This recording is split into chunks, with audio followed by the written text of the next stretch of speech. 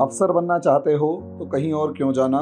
Google play store से हमारी app I A S with Harimohan download करो और तैयारी शुरू करो। एटलीस्ट लिख ही ले। तो सवाल समझिए, मैं मध्यकालीन विश्व की बात कर रहा हूँ। मध्यकालीन विश्व। अभी तक हमारा बैच का पहला टॉपिक शुरू नहीं हुआ है। अभी सिर्फ़ और सिर्फ़ इंट्रोडक्शन चल रहा है। अभी पहला टॉपिक भी शुरू नहीं हुआ है और सिर्फ़ और सिर्फ़ इंट्रोडक्शन चल रहा है। बात समझ में आ गई? सिर्फ़ और सिर्फ़ क्या चल रहा है? इंट्रोडक्शन चल रहा है। एक तरफ़ मध्यकालीन विश्व है और दूसरी तरफ़ आधुनिक विश्व है। एक तरफ़ मध्यकालीन विश्व है और दूसरी तरफ़ आधुनिक विश्व है। अब यहीं से जो व्यवस्थाएँ हैं, ये दो भागों में विभाजित होंगी। यहीं से जो व्यवस्थाएँ हैं, वो दो भागों में विभाजित होंगी या हमें समझनी होंगी। मध्यकालीन विश्व में एक व्यवस्था थी जिसका नाम था सामंतवाद। और आधुनिक विश्व में एक व्यवस्था है जिसका नाम है पूंजीवाद। आधुनिक विश्व में, मध्यकालीन विश्व में एक व्यवस्था थी जिसका नाम था सामंतवाद। आधुनिक विश्व में एक व्यवस्था है जिसका नाम है पूंजीवाद। सामंतवाद, समझे? सामंतवाद वास्तव में क्या है? सामंतवाद वास्तव में संपत्ति या भूमि पर एकाधिकार की पूरी कहानी है। भूमि पर एकाधिकार। और भूमि पर एकाधिकार के बाद भूमिहीन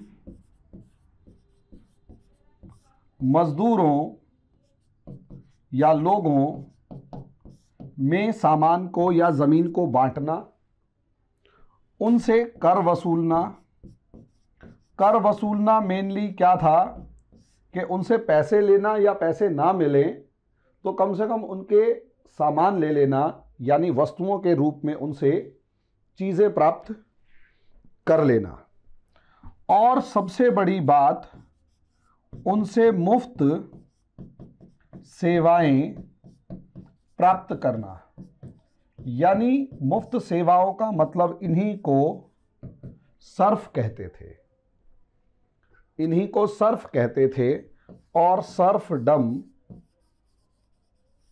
इसी को कहा जाता था।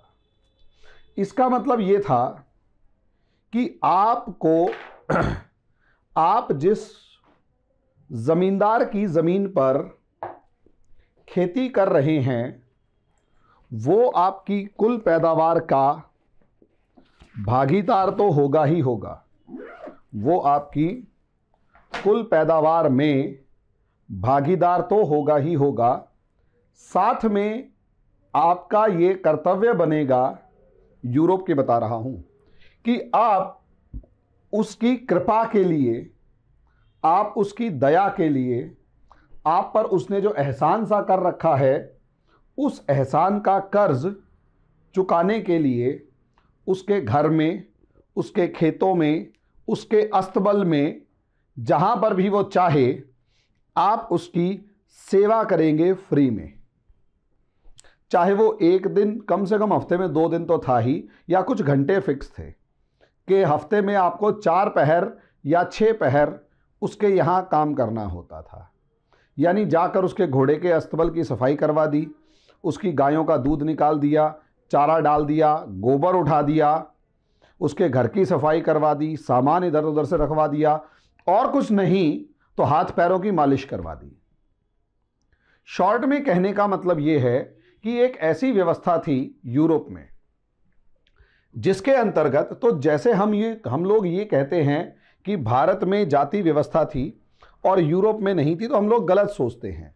यूरोप में भी इसी तरीके की एक व्यवस्था थी, जो कि बहुत ही विकृत स्वरूप में मौजूद थी। बस फ़र्क सिर्फ़ इतना है कि हम लोग अपने भारत में रहते हैं तो भारत में हमें बहुत ज़्यादा सा अंदाज़ा नहीं होता है या यूँ कहें कि हमने विश्व को बाकी पर उसमें नहीं देखा और यूरोप में भी उसके बारे में जानते नहीं हैं। जैसे भारत में जाति व्यवस्था थी, वैसे ही यूरोप में ही ये सामंत व्यवस्था का एक स्वरूप था। भारत में ये धर्म से जुड़ी हुई थी और यूरोप में ये धर्म और भूमि दोनों से जुड़ी हुई थी। इसलिए भारत में भी अपने प्रकार का सामंतवाद था और यूरोप में भी अपने प्रकार का सामंतवाद था। वहीं दूसरी तरफ़ पूंजीवाद क्या है? अच्छा यहाँ पर सामंतवाद में भूमि ही सब कुछ है और भूमि पर जो उपज हो रही है, वही सब कुछ है। भूमि ही सब कुछ है और भूमि पर जो पैदावार हो रही है, वही सब कुछ है। समझे? लेकिन दूसरी तरफ़ अगर आप देखेंगे सामंतवाद में तो यहाँ पर मुद्रीकरण नहीं है।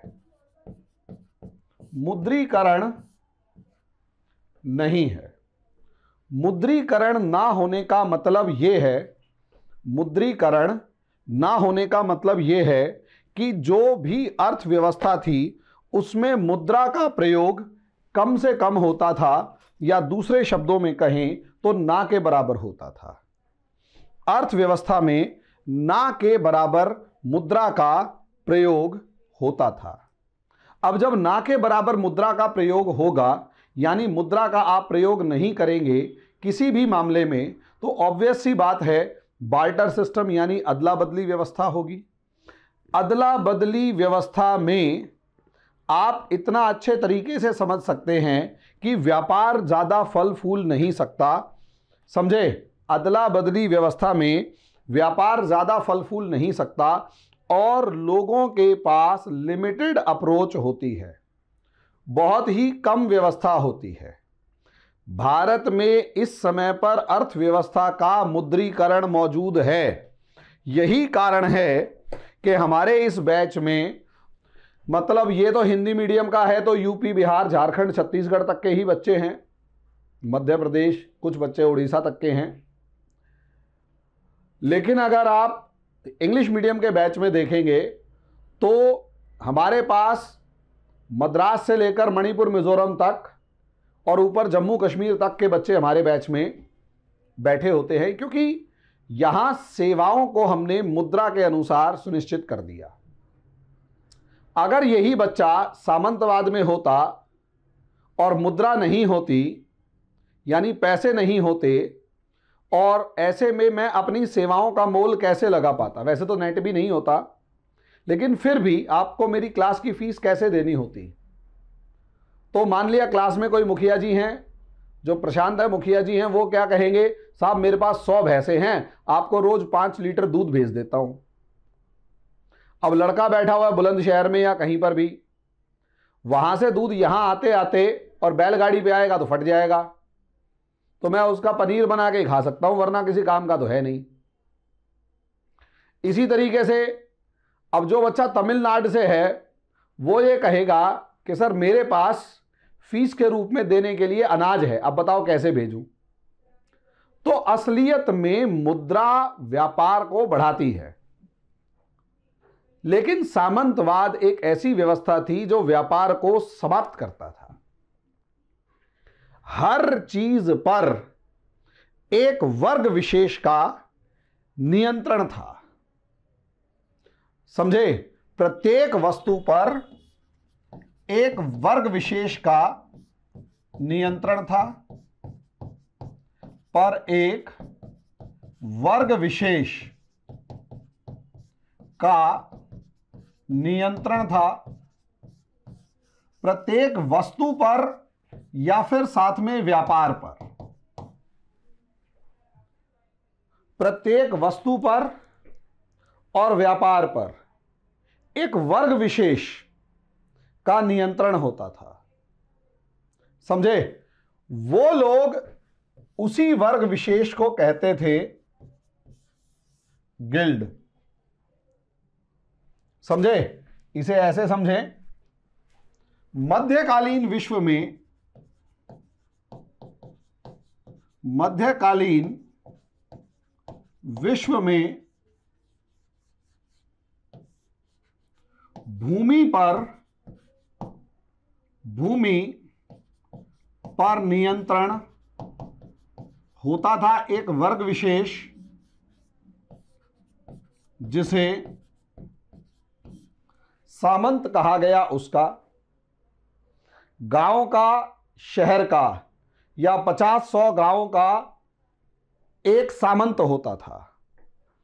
पचास सौ गाँवों का क्या होता था? एक सामंत होता था। और वो जो सामंत था, वो उस गाँव की लगभग सारी ज़मीन का मालिक होता था। अब क्योंकि वो सामंत सारी ज़मीन का मालिक होता था तो वो टैक्स के रूप में चीज़ें किसानों से वसूलता था। वो चीज़ गेहूँ भी हो सकता था वो दूध, मक्खन, घोड़े, गायें, भैंस, हाथी, जो भी वस्तु उस व्यक्ति के पास एक साल में पैदा हुई, उसका टैक्स के रूप में वसूला जाता था। उन सब वस्तुओं को, उन सब चीज़ों को टैक्स के रूप में वसूला जाता था। समझे? तो यह सामंत है। दूसरी तरफ़ उत्पादन व व्यापार। उत्पादन व व्यापार। ये जो उत्पादन और व्यापार होता था, वो अत्यधिक सीमित होता था।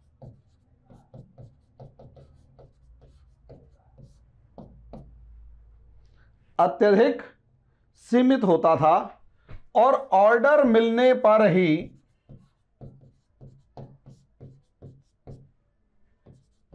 उत्पादन होता था। यानी ज़्यादा नहीं बनाते थे। कोई जाएगा ऑर्डर कहेगा कि भाई मुझे दस साड़ियाँ चाहिए।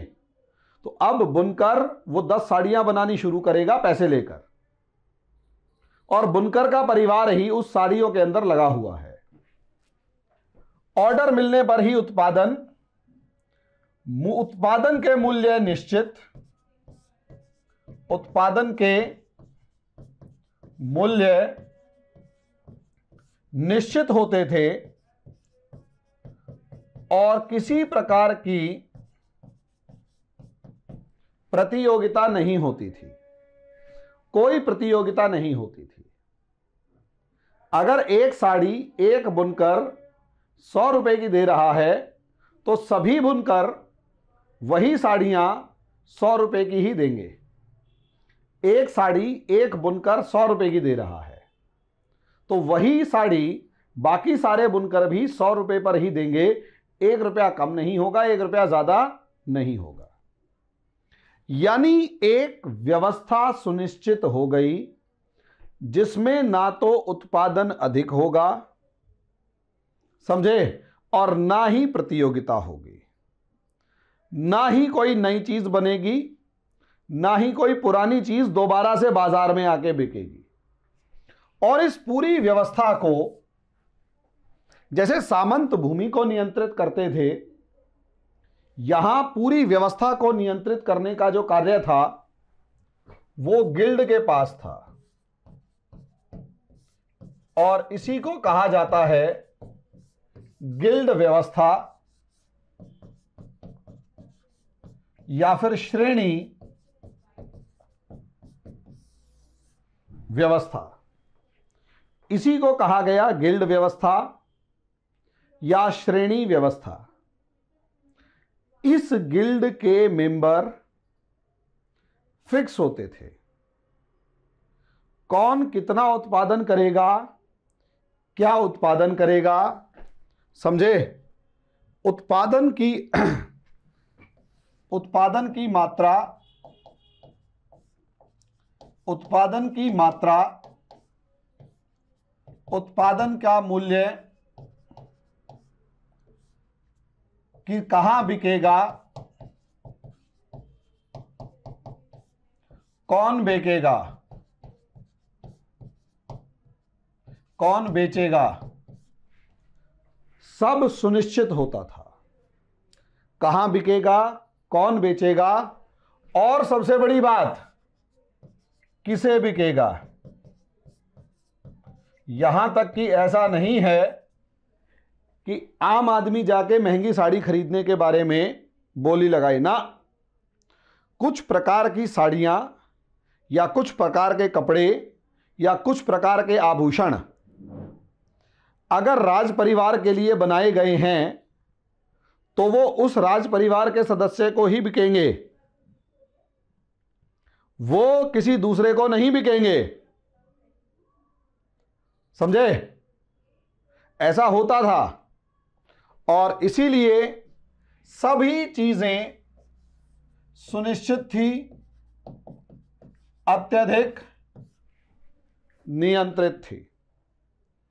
और मज़े की बात यह है, हर व्यवसाय की अपनी एक श्रेणी अपनी एक गिल्ड होती थी। और एक जो नगर है, एक नगर और उसके आसपास के कुछ गाँव, जो सामान्यतया उस सामंत के अंतर्गत आते थे, वो सारे उस श्रेणी का हिस्सा होते थे। वो सारे उस श्रेणी का हिस्सा होते थे। गाँव वाले नगर में आते, अपनी ज़रूरत का सामान खरीदते और जो उनके पास सामान ज़्यादा होता, चाहे गेहूँ, चावल या कोई भी दूसरी चीज़, वो नगर में बेचते। तो नगर में अनाज, फल, सब्ज़ियाँ और दूसरी चीज़ें पहुँचती रहती और नगर में जो उत्पादन होता, वो गाँव तक पहुँचता रहता। इस पूरे व्यापार का इस पूरे व्यापार का दायरा ज़्यादा से ज़्यादा पचास मील होता था। यानी नगर के 20, 25, 50 मील के दायरे में ही जितने गाँव हैं वो उस नगर से जुड़े हुए हैं और वहीं से लेना देना या व्यापार करते हैं। एक प्रकार की पूर्णतया बंद अर्थव्यवस्था थी। पूर्णतया बंद अर्थव्यवस्था थी, जिसमें सामान के लिए बहुत छोटे स्तर पर मुद्रा का लेन देन होता था। और ये चीज़ें एक जगह से दूसरी जगह पर आवागमन इनका जल्दी से संभव नहीं था।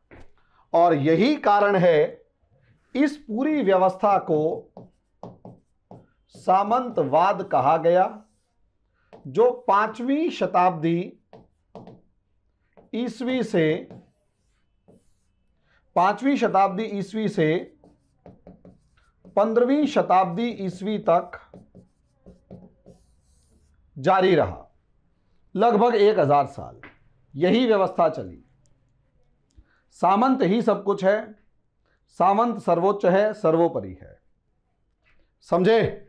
ये पंद्रहवीं शताब्दी मतलब 1400 से लेकर 1500 के बीच के बीच में।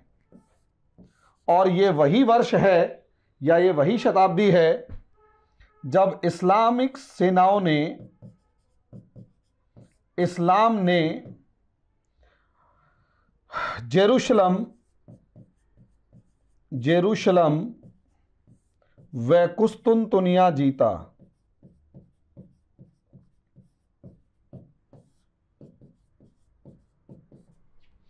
बात समझ में आ गई? ये वही दौर है जब इस्लाम का ईसाइत से झगड़ा हो रहा है और इस्लाम जीत रहा है। समझे?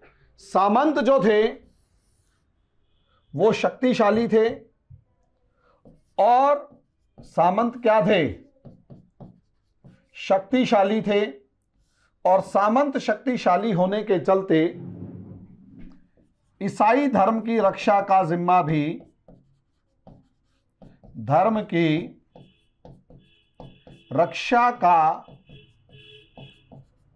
जिम्मा भी सामंतों पर। ऑब्वियस सी बात है, ईसाई धर्म की रक्षा भी कौन करेगा? सामंत ही करेगा, ये कहा गया। कि सामंत ही ईसाई धर्म की रक्षा करेगा। तो ऐसे में ध्यान दीजिए, सारी व्यवस्था बंद है, सब कुछ बंद है। सामंत शक्तिशाली है, वो सब पे ऐसा नियंत्रण करके बैठा है कि कोई उसके विरोध में आवाज़ नहीं उठा सकता। कोई भी उसके विरोध में आवाज़ नहीं उठा सकता। समझे? ऐसी सिचुएशन में, ऐसी परिस्थिति में धर्म युद्ध प्रारंभ होता है और धर्म युद्ध प्रारंभ होता है जिस वजह से सामंतों का सॉरी जिस वजह से इस्लाम वर्सेस ईसाइयत, ईसाई बनाम इस्लाम लड़ रहे थे और ईसाई बनाम इसाल इस्लाम जो लड़ रहा था, ईसाइयत हार रही थी। यानी ईसाई धर्म को मानने वाली शक्तियाँ हार रही थी और इस्लाम जीत रहा था। मैं बार बार कह रहा हूँ, मेरी क्लास में अगर बैठना है तो जाति और धर्म से ऊपर उठकर बैठना पड़ेगा। यहाँ जाति धर्म क्षेत्र के मानने वाले का कोई मतलब नहीं है। और अगर किसी को इस्लाम से ज़्यादा प्यार है या ज़्यादा नफरत है तो वो क्लास से बाहर चले जाए। यहाँ वो पढ़ाया जाएगा जो तुम्हारे यूपीएससी के लिए सही है और जो वास्तविकता है। धर्म व्यक्तिगत मामला है, धर्म का समाज या बाकी किसी चीज़ से कोई लेना देना नहीं होता। और धर्म का मतलब सिद्धांत है। धर्म का मतलब कुर्ता, पजामा, टोपी, जनेऊ, ये बिल्कुल नहीं होता। ये धर्म धर्म के प्रतीक समझ लिए गए हैं, वरना धर्म का कुर्ते, पजामे, टोपी से कोई मतलब नहीं होता। ये मैं बार बार कहता हूँ। समझे? जो आप पहन रहे हैं, वो मौसम पर निर्भर करता है। जो आप खा रहे हैं, वो वहाँ की भौगोलिक स्थितियों पर निर्भर करता है। समझे? और बाकायदा जो प्रतीक वगैरह हैं कि टीका लगा लिया, तिलक लगा लिया, उसका तो भाई देखो कोई सॉल्यूशन नहीं है। जो मर्ज़ी लगा के घूमो मुझे कोई समस्या नहीं है। इस्लाम अपने समय का सबसे अग्रणी धर्म था और चौदह उसका सर्वोच्च शिखर था। वहाँ से वो विभाजित होना शुरू हुआ, अंधकार युग में डूबना शुरू हुआ वो इसलिए नहीं कि इस्लाम के सिद्धांतों में समस्या थी। वो इसलिए कि इस्लाम को मानने वाले लोगों ने ही इस्लाम के सिद्धांतों को छोड़कर अपने धर्म को टोपी और पजामे में ढूंढना शुरू कर दिया और वास्तविक सिद्धांतों को पीछे छोड़ दिया और फिर एक दूसरे के गले काट रहे हैं। समझे? और जितनी भी आज के दिन आपको ये समस्याएँ दिखाई दे रही हैं, वो सब यही हैं। समझे? अब आप यहाँ देखेंगे कि ये हार रहे थे और ईसाइत की जीत का, रक्षा का जिम्मा किसका? सामंत का। तो यहाँ धर्म युद्ध जो शुरू हुआ, धर्म युद्ध के योद्धा, जो प्रमुख योद्धा थे, वो सामंत थे, वह सामंती सेना थी।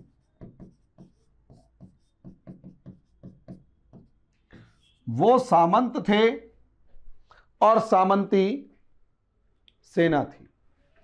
ये धर्म युद्धों ने पहली बार ऐसा हुआ कि सामंत अपने क्षेत्रों से, अपने घरों से या जिन राज्यों में वो रहते थे, वहाँ से बाहर निकलकर पूर्व की तरफ़ चले।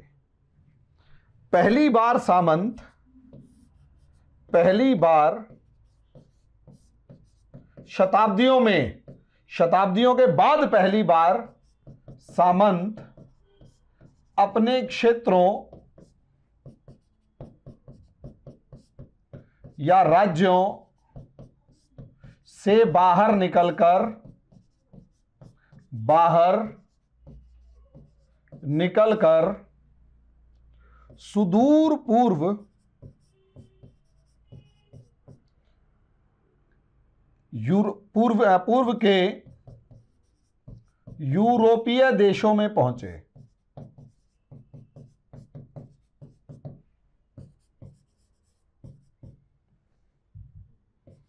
ये मेन बात है। इसे ध्यान दीजिएगा, मैं थोड़ा मैप खोल दूँ और मैप में समझाऊँगा। और मेरी से सिर्फ़ एक आदत यह भी है कि मैप के ऊपर मुझे थोड़ा खुद भी अच्छा समझ में आता है तो तुम्हें भी अच्छा समझा दे, समझाने की कोशिश करता हूँ। अगर नक्शा ढंग से आ जाए ना, मेरा मानना यह है, अगर आपने नक्शे को ढंग से समझ लिया तो आप कभी मार नहीं खाएँगे। यहाँ यदि आप देखें तो ये भूमध्य सागर है। भूमध्य सागर है और अरब राज्यों ने, अरबों ने, अरब शक्ति ने स्पेन तक जीत लिया और लगभग 500-600 साल वहाँ पर शासन किया। बाद में अरबों से स्पेन ईसाइयों ने छीन लिया और ईसाई धर्म से मतलब जो इस्लाम स्वीकार कर गए थे लोग, उनको दोबारा से ईसाई धर्म में परिवर्तित करवाया। यहाँ पर फिर अरब जब शक्ति कमज़ोर हुई तो तुर्क शक्ति मज़बूत हुई। तुर्कों का उदय हुआ और तुर्कों ने पहले यहाँ पर इधर की तरफ़ एक शहर है, जेरूशलम। उसे जीता और यहाँ एक शहर जहाँ से यूरोप में प्रवेश किया जाता है, उसका नाम पहले कुस्तुनतुनिया था। कुस्तुनतुनिया था, जो बाद में आज के दिन इस्तानबुल हुआ हो गया। वो जीत लिया। ये कुस्तुनतुनिया जो है, वो चौदह में जीता गया। कुस्तुनतुनिया जो है, उसे चौदह में जीत लिया गया। चौदह से पहले, या यूँ कहें कि 1300 ईस्वी से पहले ब्रिटेन में जो सामंत था, वो ब्रिटेन छोड़ के जल्दी से बाहर नहीं जाता था। Norway, Denmark, Sweden, Finland, Belarus, Poland, Germany, France, Austria या जितने भी ये क्षेत्र हैं, ये पश्चिमी और उत्तरी यूरोप के जो देश ये अपने देश छोड़कर, मैंने बताया ना, नगर का दायरा 50 मील। तो सामान्यतया वो लोग 50 मील के दायरे में ही रहते थे। और आस पड़ोस के दूसरे सामंतों से अपनी रिश्तेदारी बना लेते थे। अपनी जगह पे सुरक्षित थे। वहाँ से बाहर नहीं निकलते थे। और जो भी था, उनका वहीं पर सब कुछ संतुष्टि से चल रहा होता था। लेकिन जैसे ही धर्म युद्ध शुरू हुआ और इस्लाम पहले तो स्पेन तक पहुँचा और दूसरी तरफ़ इस्लाम यूरोप की मुख्य भूमि पर पूर्वी यूरोप में प्रवेश कर गया। यूरोप की मुख्य भूमि पर पूर्वी यूरोप में प्रवेश कर गया। जब ऐसा हुआ तो इन लोगों को लगा कि अब ईसाइयत खतरे में है। ईसाइयत खतरे में और यदि ईसाइयत खतरे में है तो हमें ईसाइयत को बचाना है। और जो इस्लामिक सेनाएँ पूर्वी यूरोप में हैं, उन्हें पश्चिम में आने से रोकना है। कोई भी साधारण आदमी यही सोचेगा कि वो पश्चिम में आए, उससे पहले उन्हें पूरब में ही रोक लो। तो जितने शक्तिशाली सामंत थे, वे, उनकी कुछ सेनाएँ या उनके योद्धा या उनके बेटे खूब सारे वहाँ से आगे बढ़ने लगे और यहाँ ऑटोमन साम्राज्य से लड़ने के लिए आने लगे। तो सोचकर देखिए, पहले ये रोमानिया, बेलारूस वगैरह, ये छोटे छोटे जितने भी यहाँ छोटे छोटे देश थे, समझे? इन छोटे ये रोमानिया से लेकर क्रोएशिया से छोटे छोटे बहुत छोटे छोटे देश हैं। इन छोटे छोटे देशों को, मैसिडोनिया वगैरह, ग्रीस वगैरह, जो सुनते थे कि यार इंग्लैंड कोई देश है, जर्मानिया कोई देश है, रोमानिया कोई देश है, पोलैंड कोई देश है, बेल्जियम कोई देश है, नीदरलैंड कोई देश है डच लैंड कोई देश सुनते थे किससे कहानियों में? जानते नहीं थे। वे लोग किससे कहानियों में सुनते थे? जानते नहीं थे। पहली बार वहाँ से जब इनकी मदद करने के लिए सेनाएँ पहुँची तो पहली बार इन्हें लगा कि डच कौन है, नीदरलैंड कौन है, जर्मानिया कौन है और और सब। जब वहाँ से सेनाएँ चलेंगी तो पहली बार ऐसा हुआ, जो लोग, जो जनसंख्या, जो जनता रुकी हुई थी, अब वो चलने लगी। आवागमन बढ़ा। आवागमन बढ़ेगा तो मार्ग बढ़ेगा। और जैसे जैसे लोग चलते हैं तो जहाँ पर चलना ज़्यादा होता है, जहाँ पर ट्रैफ़िक ज़्यादा होता है, वहाँ अपने आप बाज़ार लगना शुरू हो जाता है, वहाँ पर दुकानें खुलना शुरू हो जाती हैं। अपने गाँव को भी देखेंगे तो गाँव में सबसे ज़्यादा दुकानें बस अड्डे पर होती हैं। जहाँ बस आकर रुकती है, वहाँ दो चार दुकानें ज़रूर मिलेंगी। शहर में भी सबसे ज़्यादा दुकानें जो हैं ज़्यादातर वो ट्रांसपोर्ट सिस्टम के आसपास मिलेंगी, जहाँ पर पहुँचना आसान हो। व्यापार मार्गों के मतलब जहाँ से मार्ग होते हैं, राजमार्ग या व्यापार मार्ग, वहाँ पर व्यापार फलता फूलता है और ज़बरदस्त फलता फूलता है। वहाँ पर ज़बरदस्त मात्रा में व्यापार फलता फूलता है। यह याद रखिएगा समझे? तो पहली बार ऐसा हुआ, जब ये लोग लगातार जाने लगे तो शहरों के ऊपर जिन सामंतों और सामंतों के परिवारों का नियंत्रण था, वो कहाँ है? युद्ध के मैदान में। समझे? पहली बार जिन नगरों के ऊपर सामंतों के साथ साथ और दूसरी उनकी सेनाओं का नियंत्रण था, वो कहाँ है? पूर्वी यूरोप में युद्ध कर रहे हैं और लाखों की तादाद में मर रहे हैं। आ रहे हैं तो व्यापार बढ़ रहा है। वही सामंत किसी तरीके से इंफॉर्मेशन पहुँचा रहा है। आना जाना बढ़ा, आना जाना बढ़ा तो व्यापार बढ़ा। व्यापार बढ़ने के साथ साथ पहली बार मुद्रा आई और मुद्रा का चलन बढ़ा। ऐसा नहीं है मुद्रा नहीं थी। मुद्रा थी, लेकिन पहले मुद्रा का सीमित प्रयोग होता था। पहले सिक्कों का, पैसों का, सोना, चांदी, तांबे का सीमित प्रयोग प्रयोग होता था। पहली बार ऐसा हुआ, जब आदमी चल रहा होता है ना तो अपना तीन महीने की रोटी बाँध के नहीं ले जाता। और जब सेना चल रही होती है तो वो तीन महीने का खाना बाँध के नहीं ले जाएगी।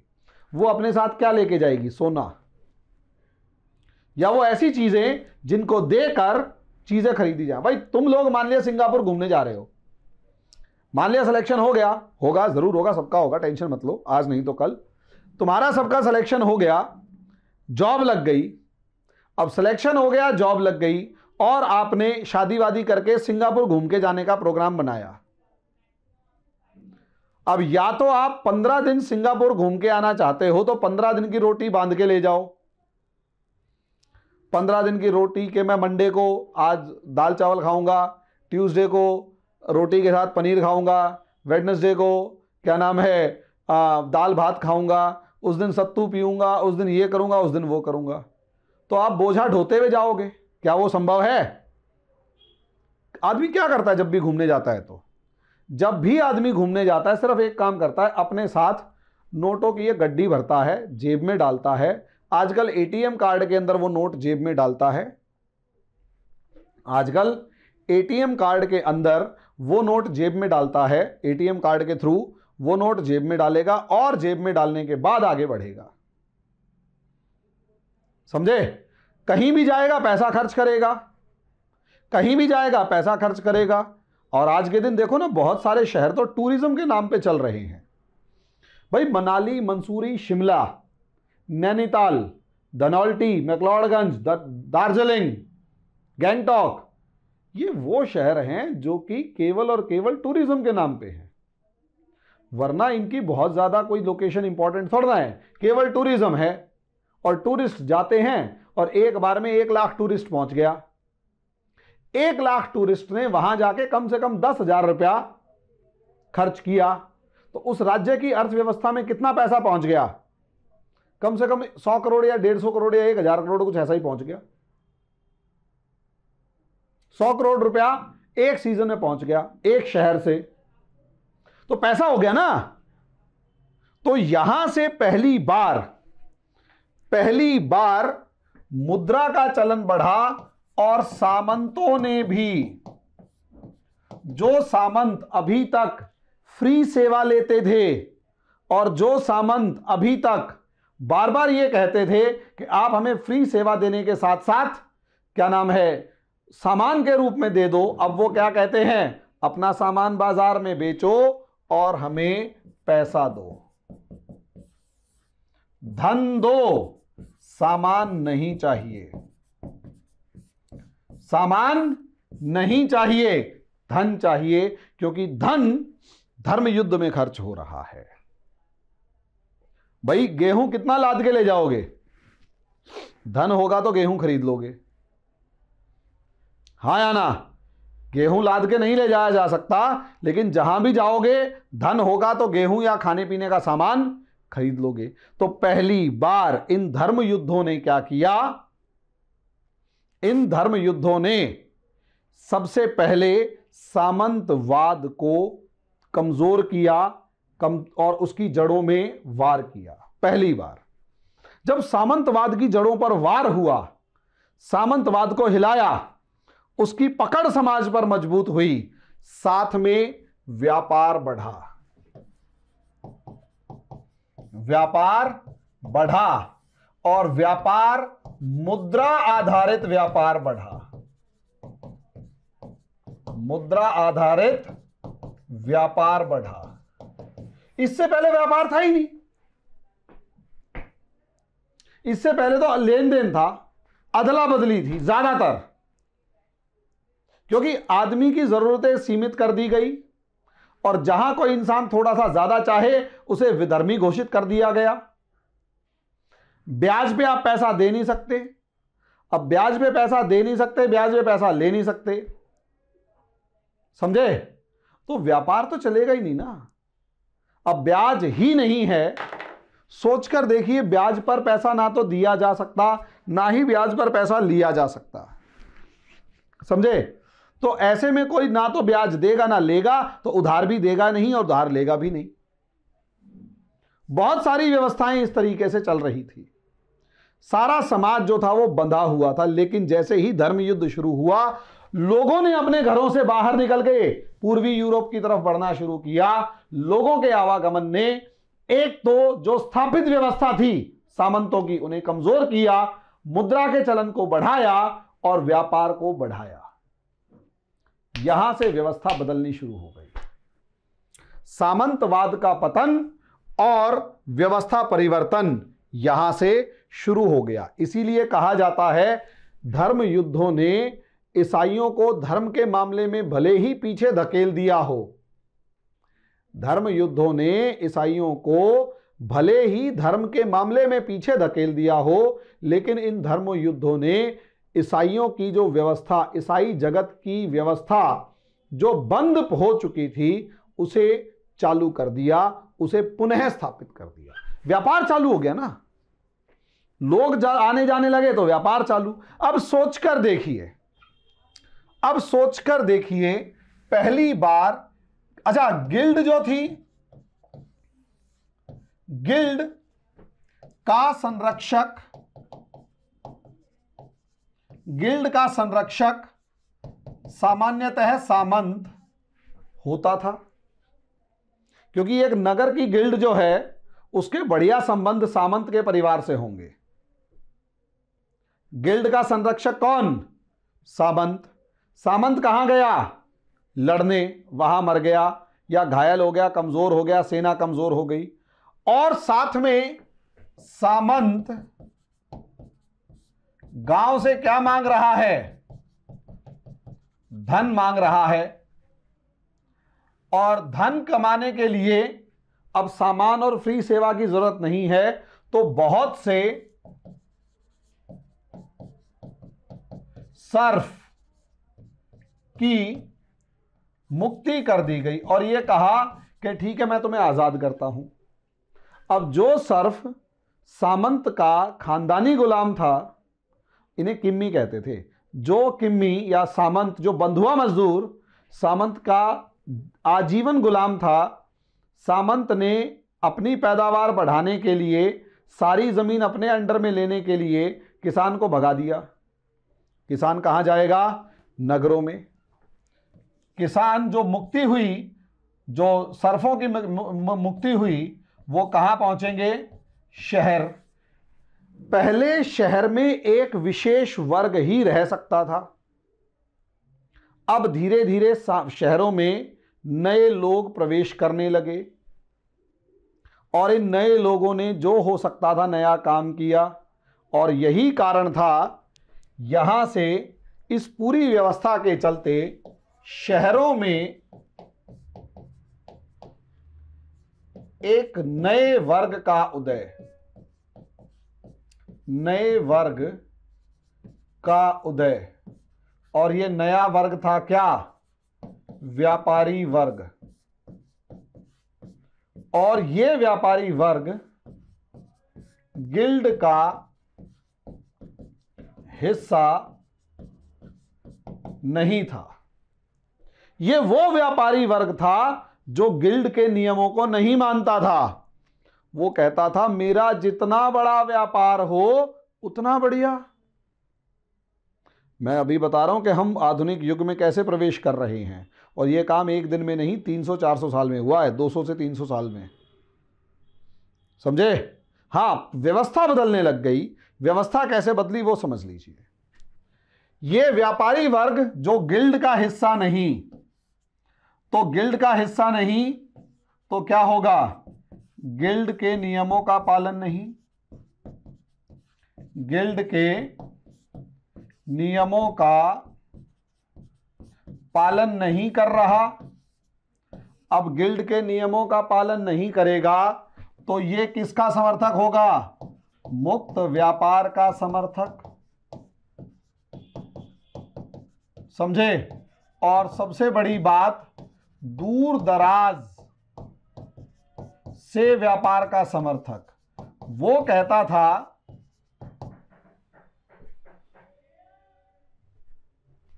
व्यापार का समर्थक। ये नया व्यापारी क्या कहता है कि, यार, मैं एक नगर में रह के व्यापार क्यों करूँ? मेरे को पता है इस नगर में ये चीज़ ज़्यादा है, एक नगर में ये चीज़ ज़्यादा है, दूसरे नगर में ये, तीसरे में ये, चौथे में ये। मुझे पता है इस नगर में जो चीज़ ज़्यादा है वो इन तीनों नगरों में कम है। गिल्ड इन चीज़ों को ज़्यादा सा आगे पीछे नहीं करती थी। जो चीज़ ज़्यादा है वो पड़ी रहन दो। समझे? नया व्यापारी क्या कह रहा है? कि ये वाला सामान इस तीनों शहरों में मैं बेचूँगा। ये सामान तीनों शहरों में बेचूँगा और तीनों शहरों में जो जो चीज़ें अच्छी हैं वो इस शहर में बेचूँगा, यानी सब जगह पर। यानी एक प्रकार के, और मज़े की बात यह है, ऐसे व्यापारी इन गिल्डों में से निकले थे, जो गिल्ड के नियम को नहीं मान रहे थे। ये स्वतंत्र व्यापारी थे, जो गिल्ड का हिस्सा नहीं थे, और वो गिल्ड के नियमों को मानने को तैयार नहीं थे। उन्हें व्यापार मार्गों से लेकर सब चीज़ों का पता लगने लगा, कुछ नई चीज़ें खोज ली। नतीजा क्या हुआ? नतीजा यह हुआ कि पहली व्यवस्था जो थी मध्यकालीन व्यवस्था क्या है? राजा। राजा से ऊपर कौन है?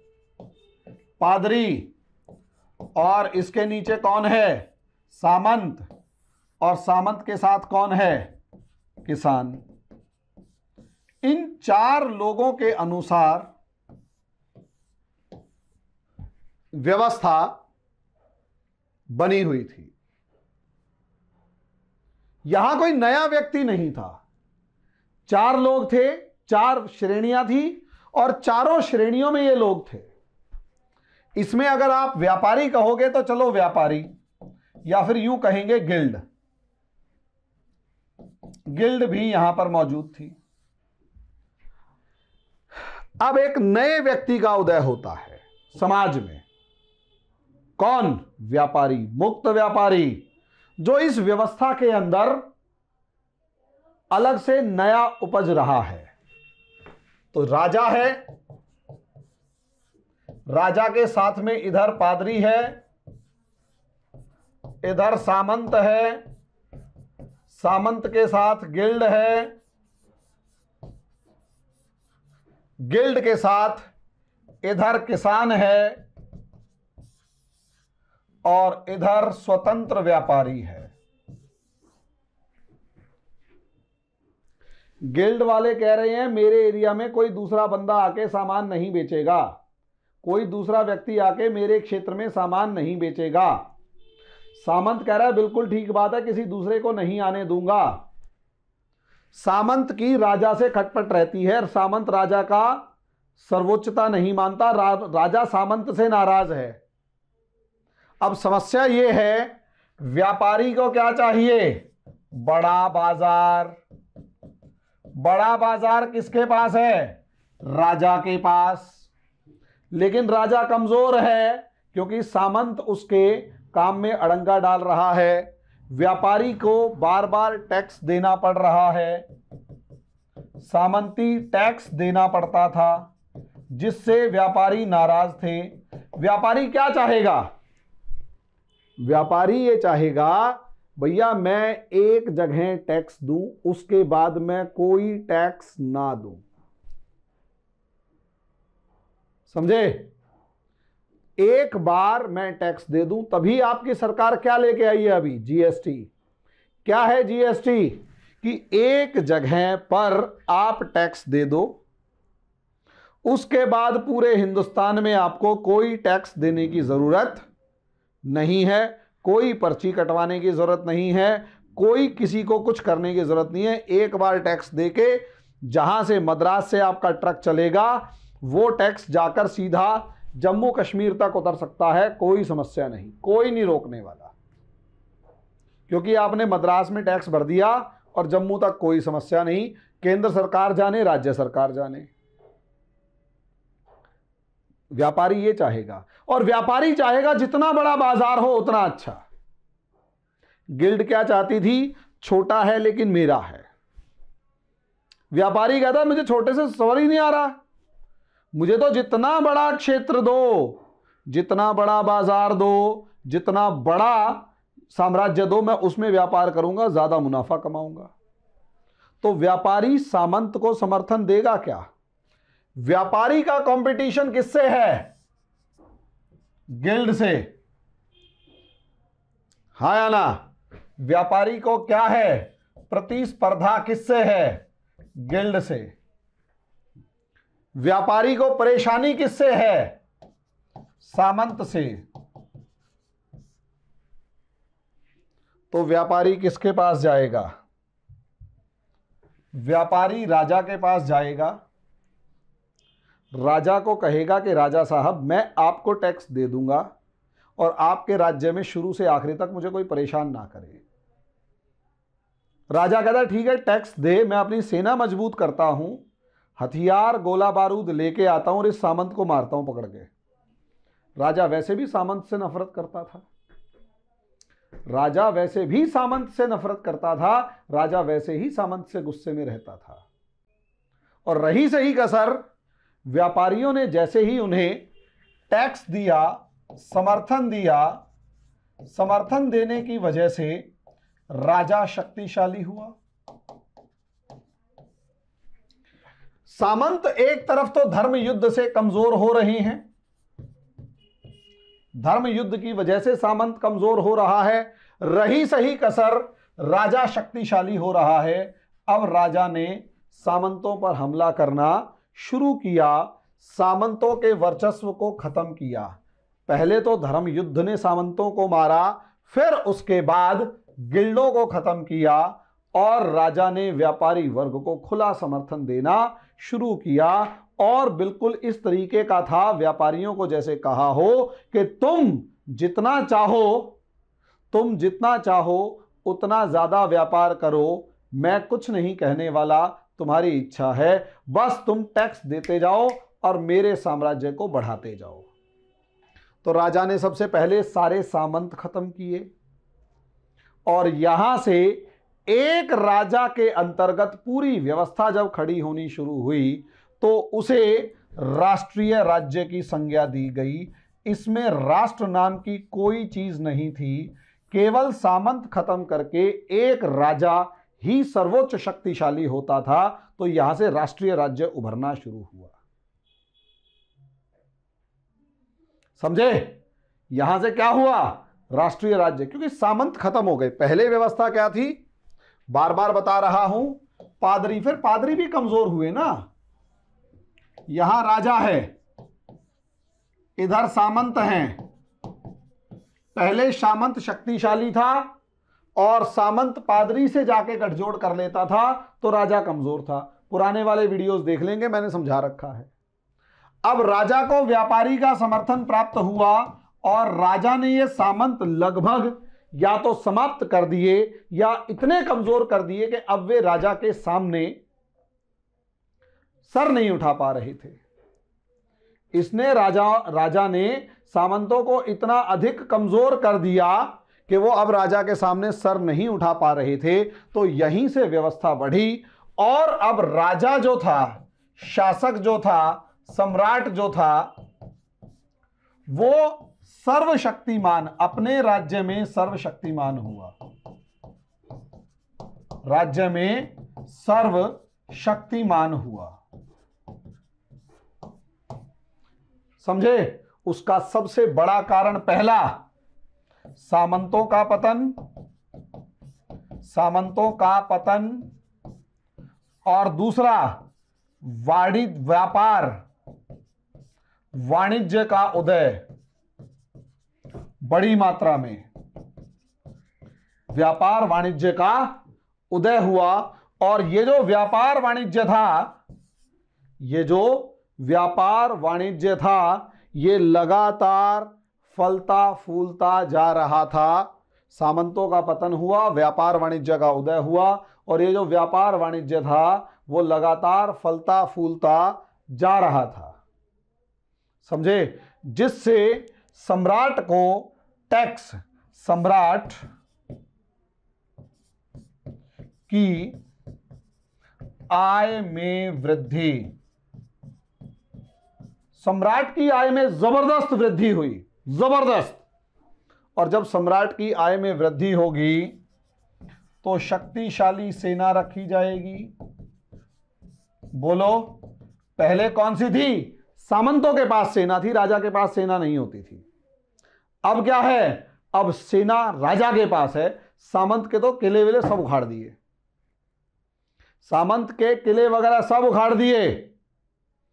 अब केवल शक्ति राजा के पास है। शक्तिशाली सेना, गोला बारूद इकट्ठा हुआ, हथियार इकट्ठे हुए। और सबसे बड़ी बात, प्रशासनिक अधिकारी वर्ग का उदय हुआ। और ये जो प्रशासनिक अधिकारी वर्ग होता है, ये कभी भी राज्य के साथ नहीं हो, सामंत के साथ नहीं होता, राजा के साथ होता है। उसे नकद में वेतन मिल रहा था। प्रशासनिक अधिकारी वर्ग को नकद में वेतन मिल रहा था तो वो राजा के लिए काम करता था। और उसका उद्देश्य केवल नकद वेतन प्राप्त करना था, राज्य या साम्राज्य निर्माण करना नहीं था। नकद वेतन मिलता था, नकद वेतन लेता, राज्य या साम्राज्य निर्माण करना उसकी इच्छा नहीं थी। और यहाँ से धीरे धीरे, यहाँ से धीरे धीरे विश्व एक नई व्यवस्था की तरफ़ बढ़ना शुरू होता है और पूंजीवाद का उदय प्रारंभ होता है। विश्व का नई व्यवस्था की ओर बढ़ना प्रारंभ और बढ़ना प्रारंभ। एक नई व्यवस्था की तरफ़ विश्व आगे बढ़ता है और जब वह नई व्यवस्था की तरफ़ विश्व आगे बढ़ता है तो यहाँ से पूंजीवाद का उदय प्रारंभ हो जाता है। सामंतवाद का पतन होता गया धीरे धीरे धीरे धीरे हर जगह एक ही व्यवस्था खत्म नहीं होती, एक दिन में। उसे खत्म होने में हज मतलब सैकड़ों साल लग जाते हैं। तो ये जो पूंजीवादी व्यवस्था थी, ये पूंजीवादी व्यवस्था भी पहले पश्चिमी यूरोपीय देशों में आई, क्योंकि व्यापार तो पश्चिमी देशों से शुरू हुआ ना। तो पहले पश्चिमी देशों में आई, उत्तरी यूरोपीय देशों में आई, फिर आखिरी में पूर्वी यूरोपीय देशों में आई। और जब वो पूर्वी यूरोपीय देशों में आई तो उसमें बहुत सारी कमियाँ आ चुकी थी, जिसकी वजह से पूर्वी यूरोपीय देश आज भी पीड़ित हैं। पूर्वी यूरोपीय देश आज भी पीड़ित है, आज भी इनके अंदर बहुत सारी समस्याएँ हैं। समझे? तो आपके माइक ऑन कर रहा हूँ मैं। कोई सवाल पूछना होगा तो पूछेंगे, वरना हम आगे बढ़ेंगे। पूछो सवाल। हाँ जी। क्या? अभी बताता हूँ, ठीक है। देखो भाई, पश्चिमी यूरोपीय देशों में क्या हुआ? जो सामंत अपने घरों में या अपने क्षेत्रों तक ही सीमित थे, या अपने राज्य तक सीमित थे, अब धर्म के नाम पर लड़ने हेतु या लड़ने के लिए वो कहाँ निकलने लगे? पूरब की, यूरोप की तरफ़ लड़ने लगे, जाने लगे। जिसकी वजह से हर क्षेत्र से अगर मान लिया हज़ार आदमी भी चलना शुरू हुआ, धर्म के नाम पर लड़ने के लिए हर सामंत अपने साथ हज़ार आदमी भी लेके आने लगा। समझे? तो कितने सारे लोग कॉन्टिन्यूसली बढ़ने लगे? जो लोग 50 किलोमीटर दूर की दूरी तय नहीं करते थे, अब वो हज़ारों किलोमीटर की दूरी तय कर रहे हैं तो व्यापार मार्ग खुल गए, व्यापार खुल गया। क्या समझे?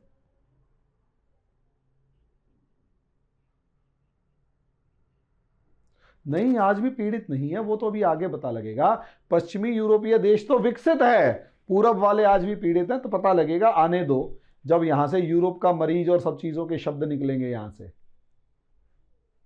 हाँ अभी आएगा वो, कहानी, देखो, हिस्ट्री में कहानी आगे बढ़ती जाएगी, और हिस्ट्री बिल्कुल ऐसे ही है कटप्पा ने बाहुबली को क्यों मारा? जिस दिन तुम्हारे दिमाग में सवाल रहने लगा कि इससे आगे क्या, तभी आपको हिस्ट्री समझ में आएगी।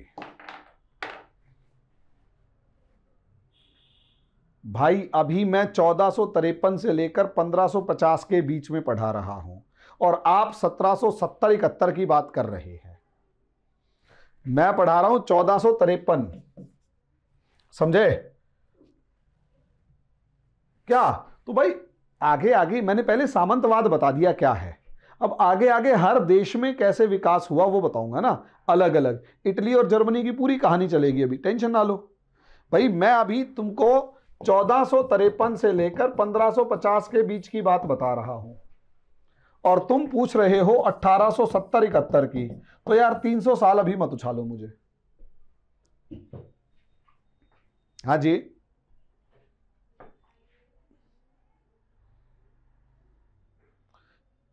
किसका? ईसाइयत। बेटा ईसाइत अपने क्षेत्र जो हार गई थी, वो तो नहीं ले पाई अगले 200-300 साल। लेकिन हाँ, व्यवस्था में सुधार हो गया। उसका समाज विकसित होना शुरू हो गया। जो पिछड़ा हुआ समाज था, वो विकसित होना शुरू हो गया।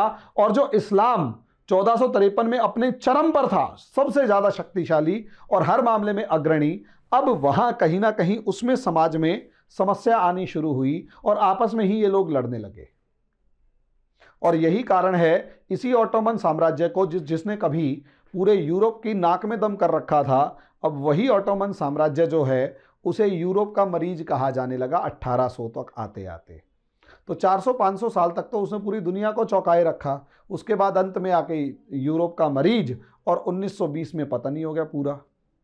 अरे बताऊँगा उसके बारे में। नहीं, सामंतवाद की वजह से नगरीकरण एक सीमित व्यवस्था में बहुत ही सीमित रहता है। सामंतवाद नगरीकरण का बहुत बड़ा दुश्मन है। सामंतवाद हमें हमेशा ग्रामीण व्यवस्था को समर्थन देगा, नगरीकरण को तो हमेशा व्यापार समर्थन देगा। नगर केवल छोटे मोटे कस्बे के रूप में विकसित हो जाएँ, सो हो जाएँ, जहाँ पर आके हर कोई अपना मेला वेला लगा लेता है, सामान बेच देता है और सामान खरीद लेता है। इसके अलावा कुछ नहीं। ठीक है? और कोई सवाल? हाँ जी। हम्म।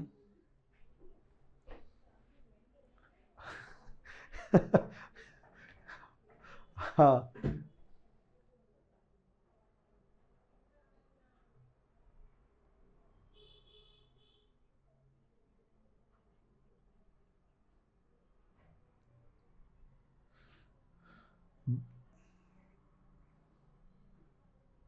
बेटा, इसे मैं जानकर नहीं लिखवा रहा। कारण ये है क्योंकि ये हमारे सिलेबस का हिस्सा नहीं है। लेकिन आगे का सिलेबस समझने में ये सब चीज़ें मदद देंगी। इसलिए जो चीज़ें फ्लो चार्ट की फॉर्म में लिख रहा हूँ, केवल इतना उतार लो, इससे ज़्यादा पढ़ने की ज़रूरत भी नहीं है। इससे ज़्यादा केवल ऑप्शनल वालों को पढ़ना है, इससे ज़्यादा और किसी को नहीं पढ़ना। ये स... हाँ।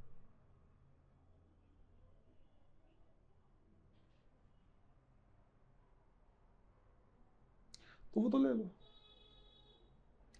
स्क्रीनशॉट ले लो। बच्चे मांगते हैं स्क्रीनशॉट में करवा देता हूँ, कोई समस्या नहीं है। वो स्क्रीनशॉट मिल जाते हैं। ना ना, अब लास्ट में क्लास ख़त्म करने से पहले क्लास ख़त्म करने से पहले मेरे को बच्चे बोलते हैं कि, सर स्क्रीनशॉट ले लेते हैं, पीछे वाली स्क्रीन्स लगा दो। तो उसमें लग जाती हैं, कोई ऐसी समस्या नहीं है। टेंशन ना लो, ये ये हो जाता है। हो जाएगा। घबराइए मत। अच्छा अगला सवाल। हाँ जी।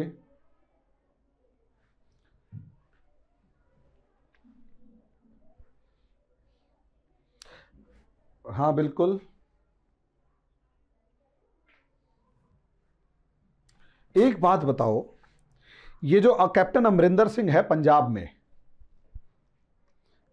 इसे नियुक्त तो कांग्रेस के मुखियाओं ने ही किया था, दिल्ली में बैठे हुए। हाँ या ना? तो वो पंजाब में ज़्यादा शक्तिशाली कैसे हो गया? इसी तरीके से अशोक गहलोत को तो कांग्रेस की सरकार ने ही नियुक्त किया था, यहाँ तक कि राजीव गांधी ने नियुक्त किया था। वरना अशोक गहलोत एक कार्यकर्ता ही तो था। राजीव गांधी ने नियुक्त किया।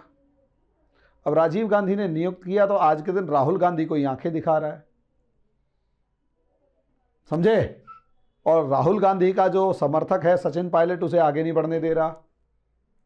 इसी तरीके से अगर आप देखेंगे तो क्या नाम है, शिवराज सिंह चौहान, इन्हें बीजेपी हाईकमान ने ही तो नियुक्त किया था, या वसुंधरा राजे सिंधिया, उन्हें बीजेपी हाईकमान ने ही तो नियुक्त किया था, लेकिन आज के दिन बीजेपी हाईकमान की औकात नहीं है उन्हें हटाने की।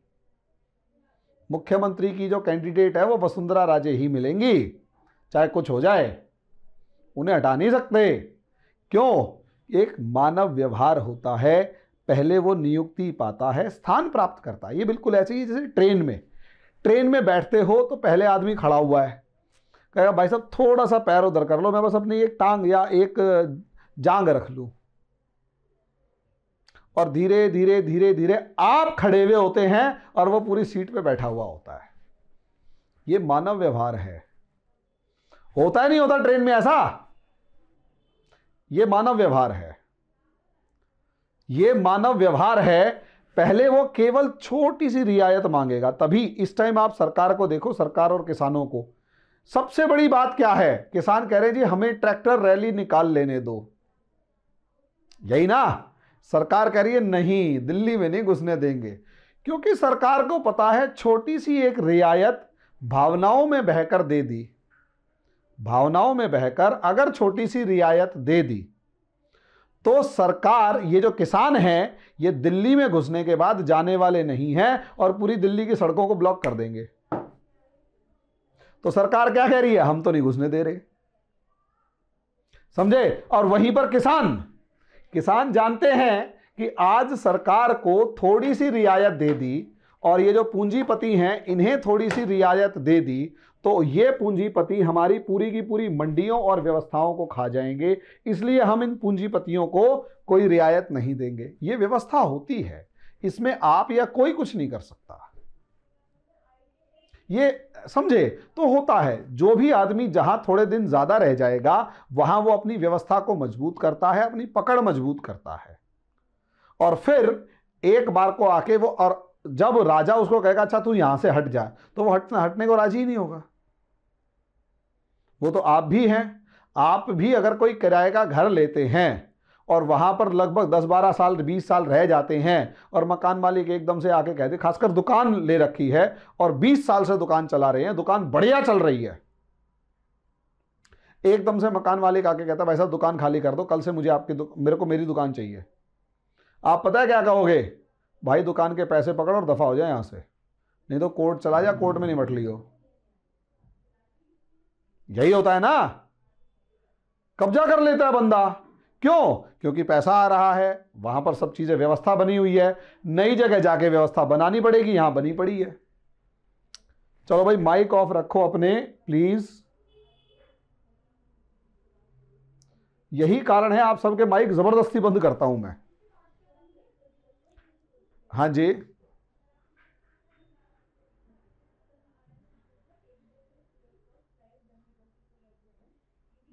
ऐसा कुछ नहीं होता, हुक्म होता है। ना ना ना ना ना। आप एक बात बताओ प्रोटेस्ट से पहले किसी को रोका था आज तक?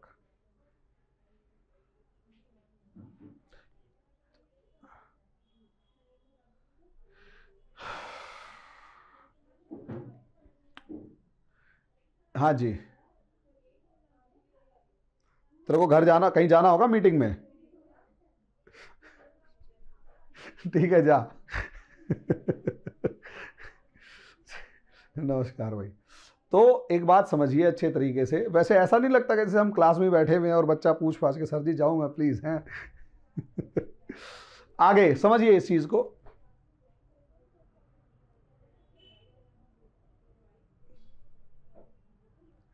अब आप समझिए, असलियत में क्या होता है, किसानों के लिए, देखो, कुछ चीज़ें लाभदायक हैं, कुछ चीज़ें हानिकारक हैं, और मजबूरियाँ दोनों तरफ़ हैं। और इन मजबूरियों के, और दोनों की मजबूरियाँ होने के चलते ही समस्याएँ हैं। दोनों की मजबूरियाँ हैं, इस वजह से समस्याएँ हैं। समझे? दोनों पक्षों की अपनी अपनी मजबूरियाँ हैं। सरकार अगर एमएसपी सब पे दे देती है तो उसी फ़सल का बाज़ार खत्म हो जाएगा। मान लिया सरकार कह देती है कि इससे नीचे की नहीं बिकने की। तो उसके बाद जो व्यापारी है ना, वो सब खत्म हो जाएँगे। भाई, माइक ऑफ़ रख लो यार। मैं बार बार माइक बंद कर रहा हूँ, तुम चालू कर रहे हो। वो व्यवस्था खत्म हो जाएगी। मतलब अगर सरकार ने एमएसपी बना दिया और ये कह दिया कि इससे नीचे बेचना गुनाह है तो पूरे की पूरी व्यवस्था खत्म हो जाएगी। व्यापारी वर्ग ही खत्म हो जाएगा उस पर्टिकुलर चीज़ की खरीद फरोख्त करने वाला। और सुनो मेरी बात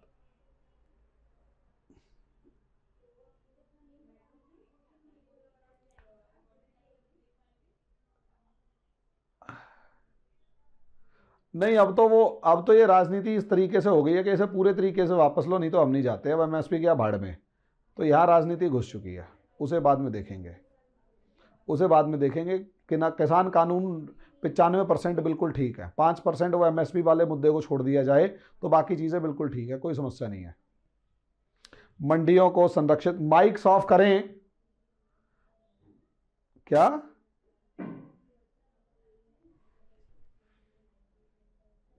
बेटा, चर्च में पादरी नहीं होता क्या? सामंतवाद में जो चर्च होता था, चर्च में पादरी होते थे। पुजारी वर्ग, पादरी। ठीक है? माइक ऑफ़ रखो तुम चार कभी भी चार पाँच बच्चों के माइक ऑन थे। आगे बोलो। और कोई सवाल?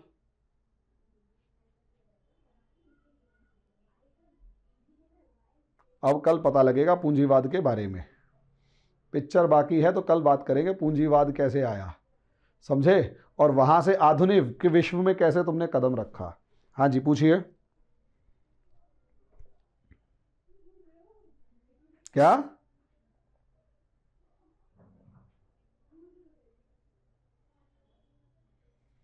यार, आज के दिन ये जो पुजारी हैं, क्यों आज के दिन भी अगर ये देखोगे, जितने मठाधीश बैठे हुए हैं ये बाबा आराम देव से लेकर आसाराम से लेकर राम रहीम से लेकर इतने तुमने नाम सुने थे, ये आज भी अपनी आपकी सरकार हिला सकते हैं। कैसे? एक बार खड़े होकर अपने समर्थकों को कह देंगे, भाई, ये वाली पार्टी जो है ना, ये हमारा बहुत नुकसान कर रही है, या मानवता के विरुद्ध है, धर्म के विरुद्ध है, वोट मत देना। भाई, राहुल गांधी को सबसे ज़्यादा नुकसान हिंदुत्व के नाम पर ही तो हो रहा है ना, क्योंकि ये जितने भी धर्म राजनेता हैं, भाई, माइक ऑफ़ करो सभी बच्चे। जितने भी राजनेता हैं, दिलीप, माइक ऑफ़ करो। जितने भी राजनेता हैं, समझे? ये सारे के सारे बाबाओं के पास जाते हैं और बाबा एक बार कह दें, भाई, आज के दिन राहुल गांधी को सबसे बड़ी समस्या क्या है कि हिंदुओं के जितने भी धार्मिक नेता हैं, वो अपनी बड़ी सभा में कहते हैं कि कांग्रेस हिंदुओं की पार्टी नहीं है। जितने धार्मिक नेता हैं, ये जितने भी धर्मगुरु हैं बाबा रामदेव से लेकर जितने भी। मैं तो कईयों के प्रवचन कई बार सुनता हूँ और उनकी क्लिप्स देखता हूँ ज़्यादातर कि कैसे कैसे ये एक पार्टी विशेष के खिलाफ एक पूरे के पूरे समुदाय को भड़का रहे हैं। हिम्मत है, सरकार को उठा के देख लो कितनी सीटों पे पटक दिया। अरे उत्तर भारत से तो गायब ही कर रखा है, खासकर यूपी, बिहार से। और कुछ?